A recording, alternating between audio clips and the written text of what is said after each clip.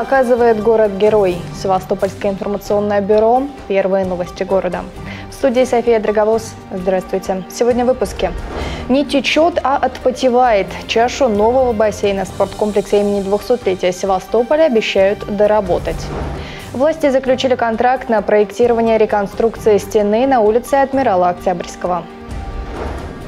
Севастопольском государственном университете проводят Всероссийский образовательный форум «Георгиевская лента как связующая нить поколений».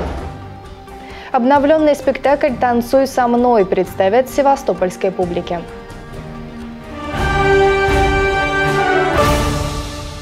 Чашу нового бассейна в спортивно-оздоровительном комплексе имени 200-летия Севастополя обещают подлечить. Такое заявление сделал исполняющий обязанности вице-губернатора города Павел Иена. Он посетил строящийся объект, лично осмотрел новый бассейн и признал наличие подтеков в чаше.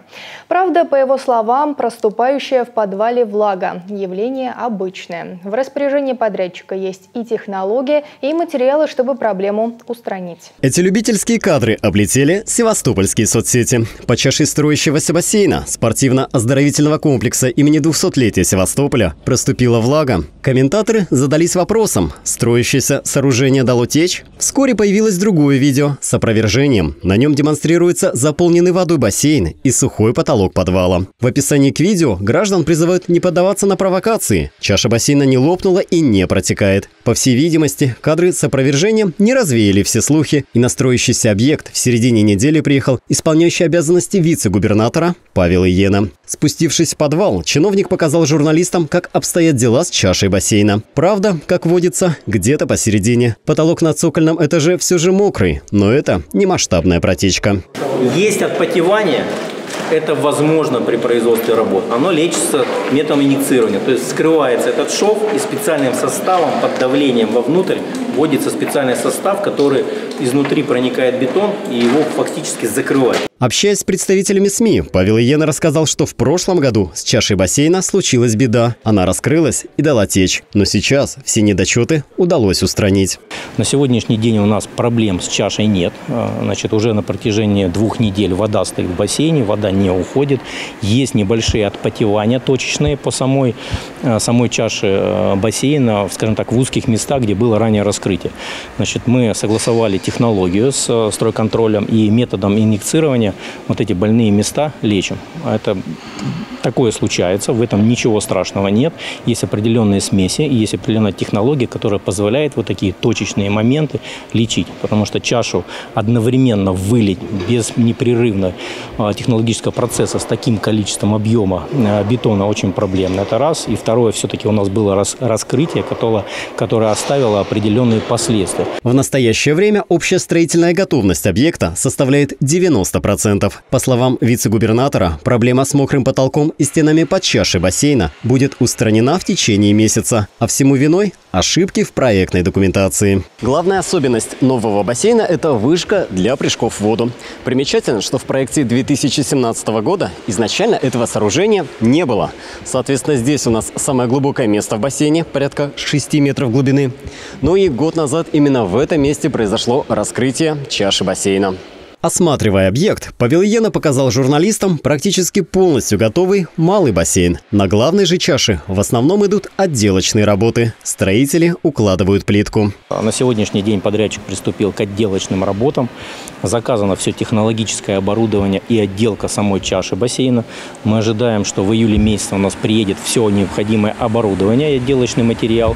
И в сентябре мы выйдем к сдаче объекта. Если все пойдет по плану и не случится очередной форс-мажор, в сентябре состоится официальная сдача объекта со стороны подрядчика, компании «Асгард», заказчику, правительству Севастополя. Затем в течение месяца комплекс передадут в оперативное ведение Управлению по делам молодежи и спорта. Полноценно работать бассейн начнет в конце года. Этого события ждут и спортсмены, и рядовые жители Севастополя.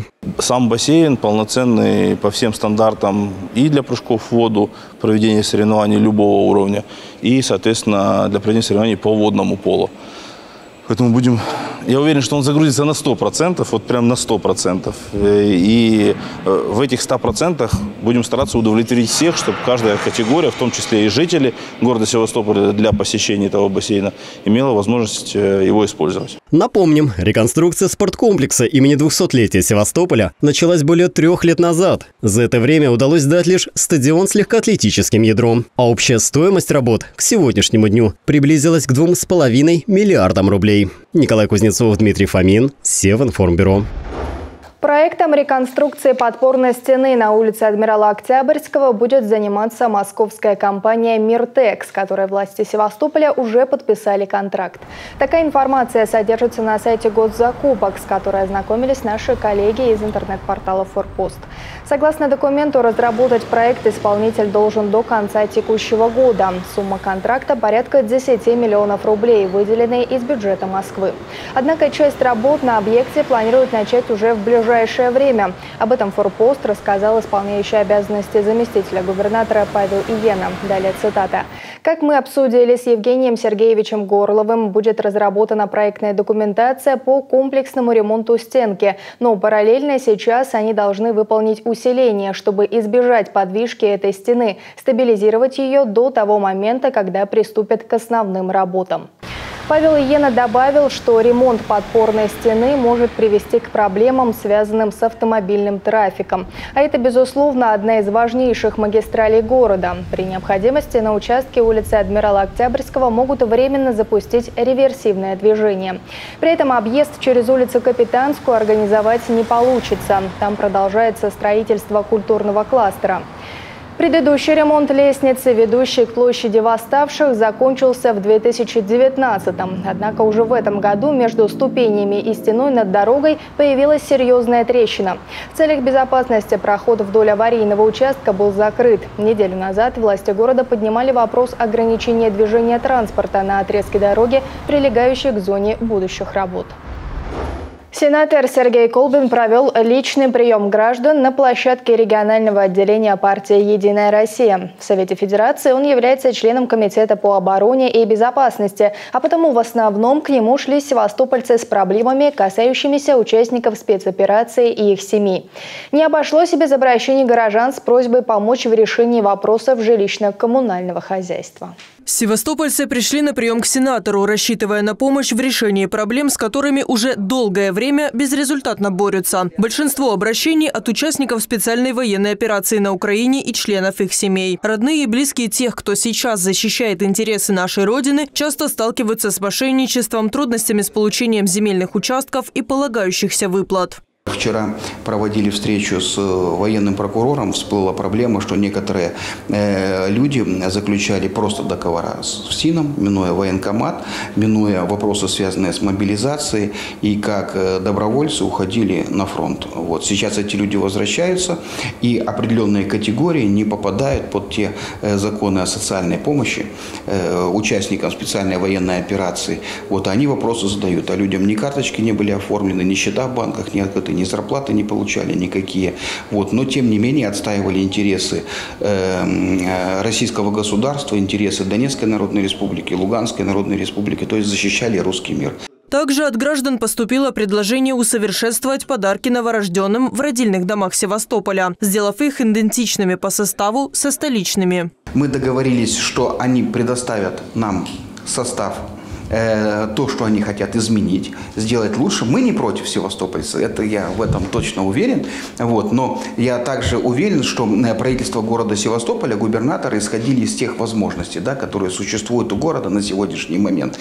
Поэтому, если есть люди, которые готовы подключиться да, и помочь, и помочь, вот, то мы обязательно эту ситуацию э, профильтруем, изучим, изучим, э, проанализируем вот, и обратимся обратимся в соответствующие компетентные органы. Севастопольцы также выразили возмущение строительством рядом с пляжем в Угольной бухте, в районе Ушаковой балки. По их словам, вот уже полтора года работы ведутся в том числе в ночное время и в праздничные дни. Местные жители обеспокоены, что неконтролируемое строительство на склоне может привести к оползню. Говорят, в их домах уже пошли трещины. Недавно этот вопрос жители города подняли на общественном совете в Департаменте архитектуры и градостроительства. Почему у нас стройка идет днем и ночью, не взяла вообще на какие-либо законы Российской Федерации, которые не позволяют шуметь у граждан? Департамент архитектуры сказал, что он не в курсе, что там строится. Он не знает, не слышал. А, и, в общем, никаких э, сведений у него на этот счет нет. И нам бы очень хотелось понять, э, значит, что вам дал ответ, вам дал ответ официально? Нет, это был не официальный ответ. Я просто член общественного совета при департаменте архитектуры, поэтому у меня есть возможность... Даже вы не смогли узнать про Даже я не смогла узнать. Нет, не Информацию по строительству на склоне в районе Ушаковой балки Сергей Колбин пообещал перепроверить и помочь гражданам обратиться в компетентные органы. Жанна Тарасова, Сев Информбюро.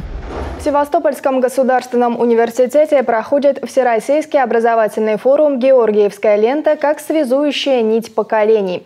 В роли организатора большой конференции выступило региональное отделение Ассамблеи народов России при поддержке Департамента внутренней политики правительства Севастополя. Участники обсудят вопросы духовно-нравственного и гражданско-патриотического воспитания.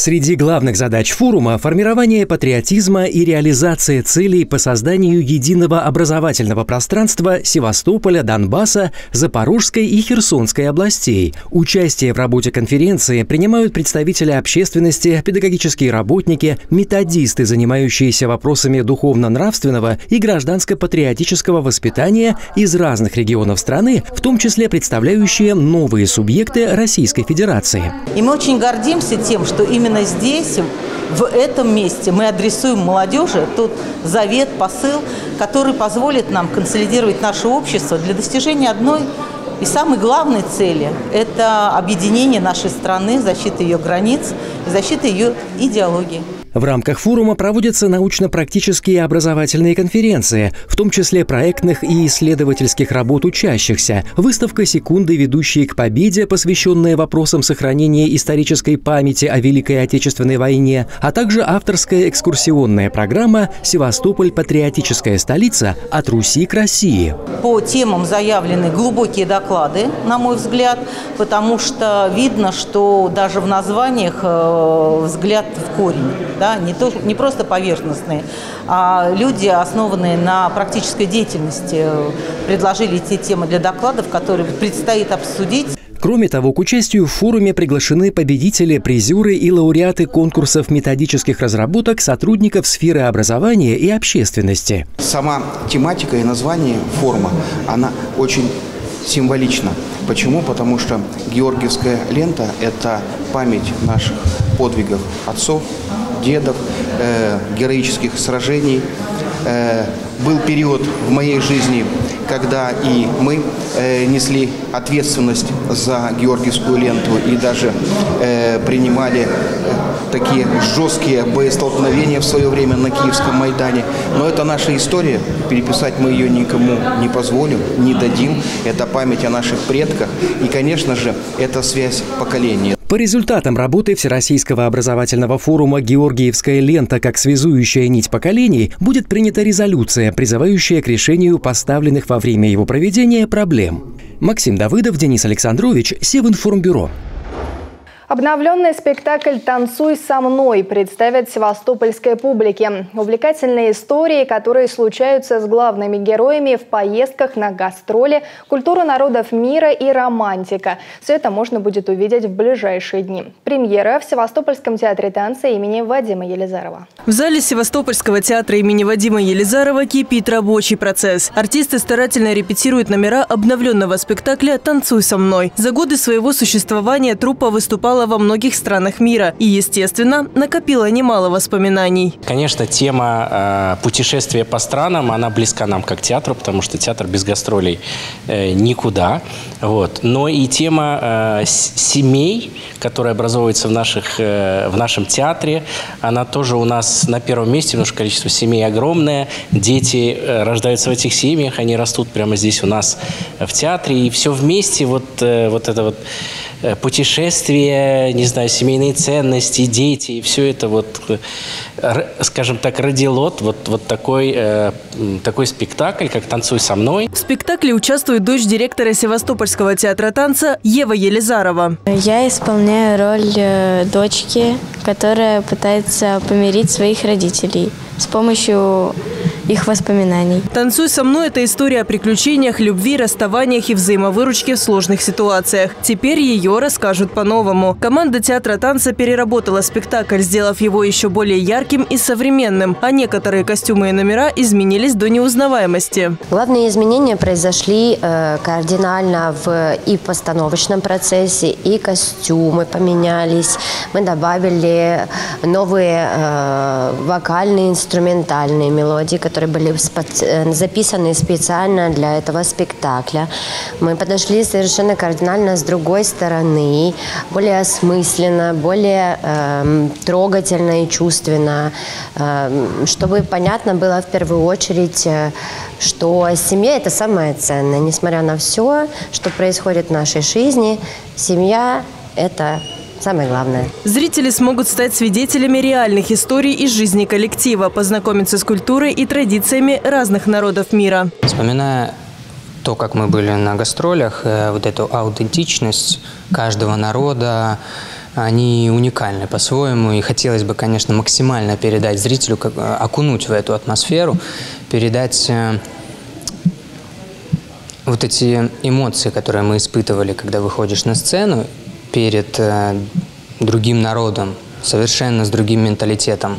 А потом смотришь на следующий день то, как они двигаются, то, как они танцуют. Вот эта коллаборация, вот это обмен опытом, это невероятно. И, собственно, это мы хотим передать и зрителю нашему. Первые показы спектакля «Танцуй со мной» пройдут в Севастопольском академическом театре танца имени Вадима Елизарова 14, 15 и 18 июля. Жанна Тарасова, Денис Александрович, Сев, Информбюро. По факту взрыва в одном из жилых дворов Феодосии возбуждено уголовное дело. Инцидент произошел вечером в среду 12 июля. Недалеко от седьмого подъезда многоквартирного дома на улице Земской, 18, сдетонировало взрывное устройство, установленное на мопед. Ранения получили две женщины в возрасте 61 и 85 лет. Обе доставлены в больницу. Уголовное дело возбуждено по факту покушения на убийство двух и более лиц, совершенное общеопасным способом. Его расследованием займется Главное следственное управление Следственного комитета России по Крыму и Севастополю. В рамках расследования уголовного дела назначен ряд экспертиз, проводится дополнительный осмотр территории, устанавливается владелец транспортного средства, лица, причастные к преступлению, мотивы их действий. Следствием отрабатываются различные версии произошедшего. Одну из версий выдвинул крымский блогер и общественник Александр Талипов. В своем телеграм-канале он написал, что взрыв произошел во дворе, где он сам проживает, а накануне его персональные данные были опубликованы на некоторых украинских интернет-ресурсах. Взрыв мопеда Талипов рассматривает как вариант покушения на себя. Основная причина, которую выдвигает блогер – месть за активную гражданскую позицию и поддержку спецоперации. В состав Черноморского флота вошел малый ракетный корабль «Циклон» проекта 22800. Торжественная церемония состоялась в Керчи на судостроительном заводе «Залив» имени Бутомы в среду 12 июля. Об этом сообщает пресс-служба Министерства обороны России. Прием корабля прошел под руководством главнокомандующего военно-морским флотом адмирала Николая Евменова, который высоко оценил работу керченских кораблестроителей и вручил наиболее отличившимся медали адмирал флота Советского Союза Горшков. Также главком передал Андреевский флаг командиру корабля. Сердцами и золотыми руками заводчан флот получил этот корабль. Огромное вам за это спасибо. Вот, сейчас обстановка очень непростая. Вот, нам ставят ультиматумы, пытаются принудить к продолжению этой черноморской сделки. Поэтому для того, чтобы обеспечивать интересы государства на Черном море нужна группировка ракетных кораблей. Кроме того, он отметил, что другой малый ракетный корабль «Аскольд», построенный на том же судостроительном заводе в Керчи, что и «Циклон», нужно сдать не в сентябре, как планировалось, а в августе. На торжественном собрании также присутствовали глава Республики Крым Сергей Аксенов и руководство самого завода. У России два союзника – армия и флот. Сегодня флот пополнился очередной боевой единицей, который, уверен, достойно выполнит поставленные задачи. Достойный экипаж, достойная техника, поэтому все будет по-нашему. Никакие барьеры, никакие блокады ничего не помогут сделать против нас. Сто процентов нас ждет успех, э, без вариантов. Мы победим. Поэтому спасибо вам, друзья. Спасибо за большой вклад в общее дело. Спасибо. Я хочу сказать, что этот корабль за четверть века построен по полному циклу. То есть зашел лист металла, частично оборудование, потом основное оборудование. И уже мы с вами видим уже полноценную боевую единицу. Малый ракетный корабль проекта 22800. Спасибо и проектанту, спасибо всему коллективу завода. Все мы трудились, все видим результат. Нужно продолжать его и приумножать. Я поздравляю вас всех с этим знаменательным событием. Малый ракетный корабль «Циклон» был спущен на воду 24 июля 2020 года. Экипаж успешно провел морские испытания. Севастополь впервые зашел в декабре 2021 Военное судно предназначено для охраны и защиты экономической зоны страны, а также для ведения боевых действий в непосредственной близости от береговой зоны. Кроме того, корабль оснащен современным ракетным комплексом, что позволяет ему справляться с серьезными боевыми задачами, наносить удары высокоточными высокоточным крылатыми ракетами на расстояние до 2500 километров по наземным и до 300 километров по морским целям. Скорость хода около 30 узлов, дальность плавания 2500 миль.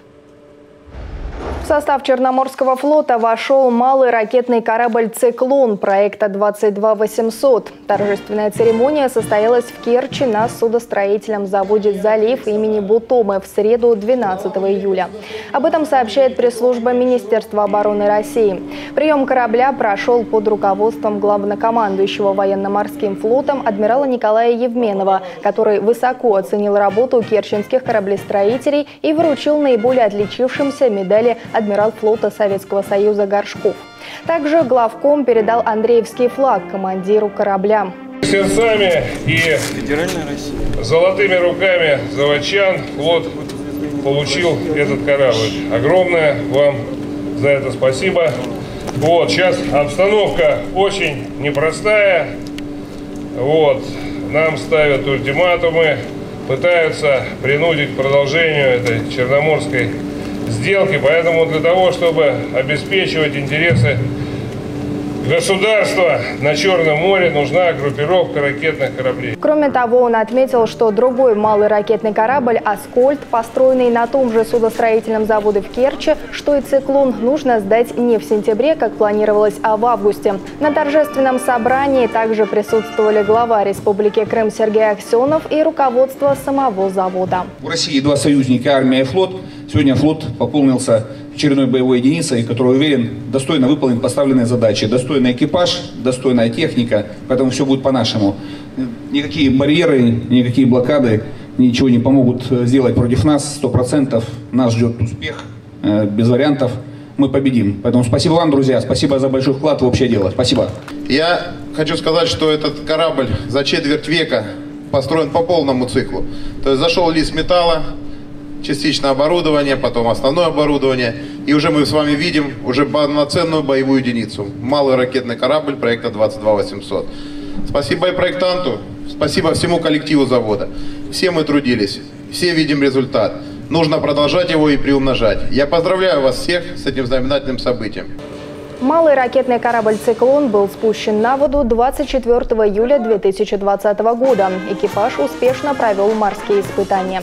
Севастополь впервые зашел в декабре 2021 Военное судно предназначено для охраны и защиты экономической зоны страны, а также для ведения боевых действий в непосредственной близости от береговой зоны. Кроме того, корабль оснащен современным ракетным комплексом, что позволяет ему справляться с серьезными боевыми задачами, наносить удары высокоточными высокоточным крылатыми ракетами на расстояние до 2500 километров по наземным и до 300 километров по морским целям.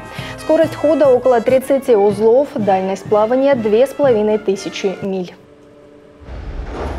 И в завершение выпуска о погоде. По информации Севастопольского центра по гидрометеорологии и мониторингу окружающей среды, в пятницу 14 июня в городе будет переменная облачность без осадков. Ветер южный 9-14 метров в секунду. Температура воздуха 28-30 градусов тепла. За минувшие сутки в Севастополе на свет появились 13 детей, 8 мальчиков и 5 девочек. А на сегодня это все. Телефон редакции 59 2060, а также мобильный плюс 7 978 931 31. Уточнить информацию или оставить свою вы можете на нашем сайте ntsdefistv.com. Ждите новостей и хорошего вам завершения рабочей недели.